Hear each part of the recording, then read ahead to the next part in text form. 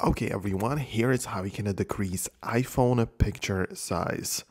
Now, there are a few things or three ways how I would approach this. In case you already have a photo which is like too large in terms of the dimensions of the photo, meaning that it's like too wide or, you know, in like weird shape that you want to cut out, what you need to do is just to click on edit, then crop and using the handles right here, you can decrease the size of this picture.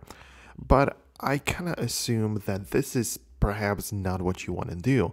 In case you want to decrease the size in terms of the megabytes, for example, you can see that this picture is like 890 kilobytes, but you know, we, we can easily find a bigger one, right? So if you go ahead and do this, you can see that this picture is like 2.3 megabytes. In case you want to lower down this type of size, what you need to do is to download some kind of photo compression app. So literally just open up the App Store and look up photo compression or photo compress, whatever it uh, just looks up in terms of like, you know, these apps. But I would recommend you to get this one. I have some good experience with this very specific app with this blue logo and like shrinking of the image.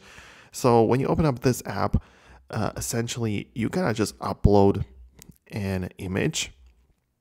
So you're gonna select this one from your gallery and actually just find, let's say this one with uh, 2.3 megabytes, tap on next and in here, you can adjust the photo quality as well as dimensions. So in case you want to lower the pixel size, you use this slider. In case you want to keep the quality high or, you know, lower it, depends on what you want.